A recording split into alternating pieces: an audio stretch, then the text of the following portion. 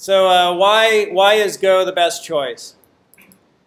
Uh, for me, the credentials of Go are what convinced me that I wanted to learn this language and no other language. So the credentials, the credentials of Go.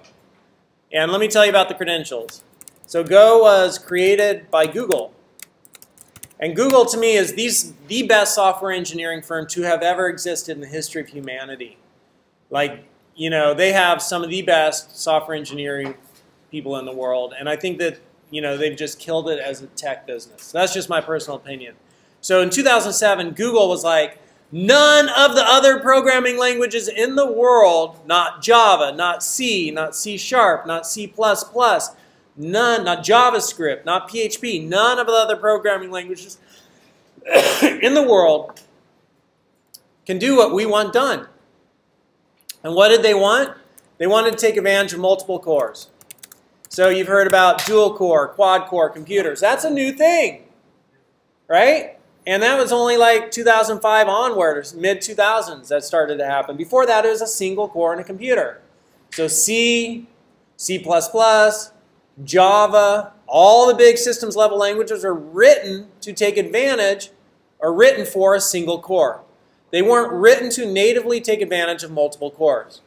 And Go, Google, Google Get it? Google. Hold it. Let me make it big. Google. Go, right? Go programming language. Google wanted a language that was built to easily take advantage of multiple cores so that you could easily do concurrency. And other languages weren't designed to easily do concurrency either. It's difficult. And so for those two reasons, and maybe other reasons, and you could read about it by going to the official website of, of the programming language, golang.org, and then you could go to the documents, and you could go to the FAQ, frequently asked questions. So this is the horse's mouth. This is where you go to get the official information about the uh, Go programming languages. Uh, why are you creating a new language? Go has borne out frustration with existing languages and environments for systems programming. Programming became too difficult, and the choice of language was partly blamed. One had to choose either efficient compilation, efficient execution, or ease of programming. All three were not available in the same language. So they wanted something that could compile efficiently, execute efficiently, and also be easy to program. Programmers who, who could were choosing ease over safety and efficiency by moving to dynamically typed languages such as Python and JavaScript rather than C++ or to a lesser extent Java. Go is an attempt to combine the ease of programming of an interpreted dynamically typed language with the efficiency and safety of a statically typed compiled language. And so dynamically typed versus statically typed. Statically typed just means when you declare, statically typed just means it's much more stringent about what you can do. There's no loosey-goosey, hey, x used to be an int, now I'm going to store a string in that variable. Can't do that statically typed, right? And if you do, it throws an error. And statically typed will maybe cause you a little bit of frustration at the front end. You can't just be as, you know, you know, lackadaisical about your coding. You have to be a little bit more, pay more attention. But it helps you a lot in the long run. It helps you avoid really problematic errors, which cause you even more trouble. Um, it also aims to be a modern with support for networked and multi-core computing. Finally, working with Go is intended to be fast. It should take at most a few seconds to build a large executable or on a single computer. To meet these goals required addressing a number of linguistic issues, blah, blah, blah. So this article, Go Google discusses the background and the motivation. So that was it, right? The credentials and uh, multiple cores, credentials. And so I'm just going to make the size smaller again. There we go. And yeah, I did. Official. Thank you, Bob. Official website. Please keep checking throughout the day. So that's the official website. And uh, we were just looking at that frequently asked question right here, right there. And uh, I'll put that in there too. So uh, credentials, Google. And then they hired Rob Pike, Ken Thompson, and Robert Griesemer. I don't know if that's how you spell his name. Rob Pike, Ken Thompson, Robert Griesemer.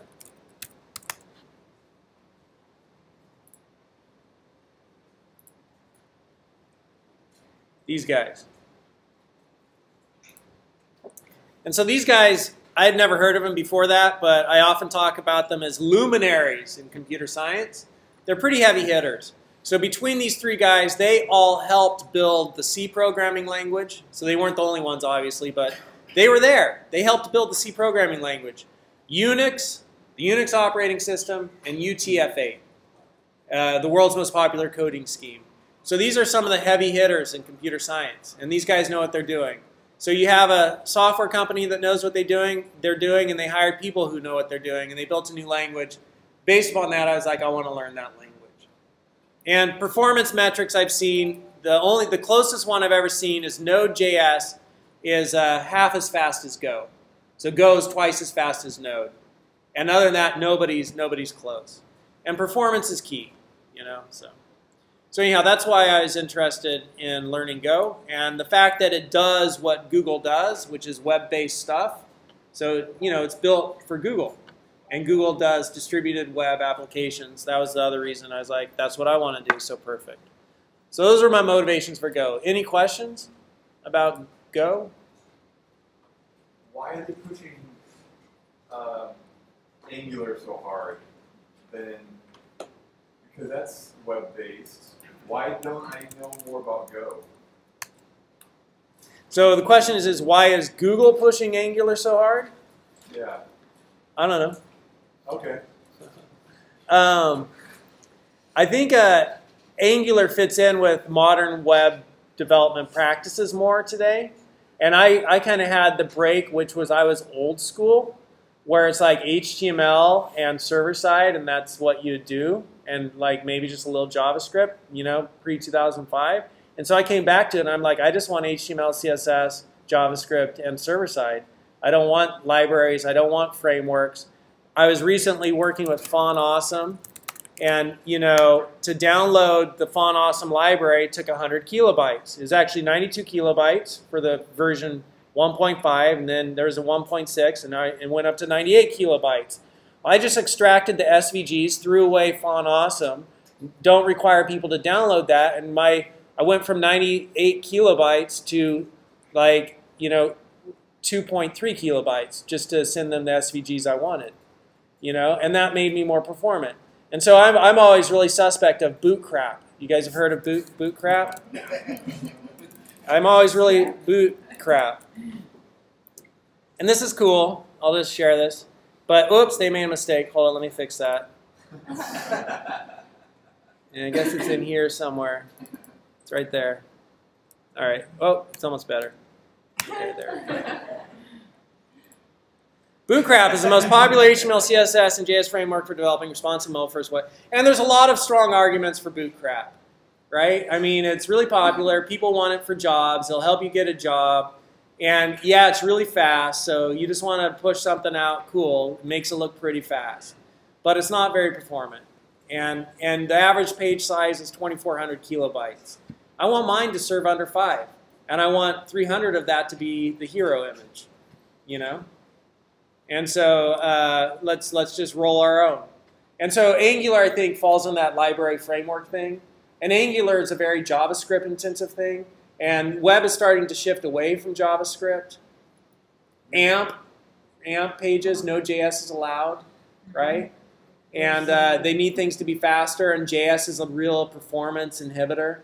Um, so, you know, uh, so I think you could probably do Angular because Angular is basically a, a framework which I don't know a lot about it, but it, it runs a lot of it on the client, right?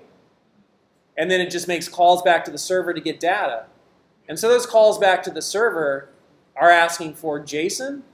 They're AJAX calls, and they're just asking for JSON. Is that right? And so you, you, the server, what's the server? Well, is Angular also the server? Or you choose your server? So maybe you could use Go with Angular. But, you know, um, I think also why there isn't a lot of, I mean, and Bill Gates said, if you want to be successful, get in front of what's coming and let it hit you. You can learn Java, you can learn PHP, a lot of jobs out there for Java developers and PHP developers, but you're just going to be another face in the crowd of millions, and you're going to be a newbie facing the crowd of millions. People have been doing it for 10, 15 years, right? It's like, whoa, right? Go was version one in March of 2012. It's four years old. Like, and you know, I am one of the first dudes who's like teaching people how to do web programming with Go. Um, like, because the classes, I'd record them out of Fresno State and put up a lot of YouTube videos, and I've seen it start to gain traction. And uh, one of my friends is uh, this guy, Bill Kennedy, who's the world's leading corporate trainer for the Go programming language, and I became friends with him because I went to his trainings. And when he found out what I was doing, he's like, dude, you got to learn so much more. You need to come back to my trainings. I'm not even going to charge you. so he just had me come back to his training so I could he could continue to school me, you know. But uh, being friends with Bill, it's like, oh, really? You're going to Oracle? Oh, really? You're going to Int? Oh, really? You're going to Microsoft? You know, it's just like now it's like all these companies are starting to pick up Go. And so uh, I don't know what the point of that story was, but get in front of what's coming and let it hit you. Why haven't more people been used? Why, why don't you hear about Go more and why so much Angular? I think market momentum and, you know, people have just been doing what they've been taught and that's what's being taught. It takes time for all that to shift. And, uh, and server side for Go, I mean, it's a new language. It's only four years old. Literally, when I first started learning it in December of 2014, like one of my resources was a book written by a guy in China translated to English. Because there really wasn't that much stuff out there two years ago. You know, and, and it was hard. I'm like, you know, learn programming in Chinglish. Variable, nice. You know, undeclared, assign, initialize to begin process of calculation. You know, it's like, well, that's kind of interesting, but it's hard to understand. So, so uh, good question, and I think uh, I think you know I think it's going to continue to grow in popularity. Any other questions?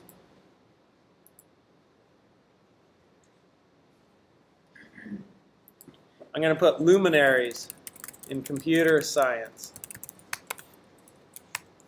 Helped create C, Unix, UTF-8. and I'm going to spell his name wrong, right? I didn't mean that. Yeah. Uh, are all the groups together now, right here? What groups? Posted by level or something? No, we're all beginners, including me. Does that answer your question? Are you supposed to be at a certain table? Is that what you're asking? Yeah, because uh, I'm, I'm not a beginner, but hey, I'm a little more old school than you. I used to be a COBOL coder. Awesome.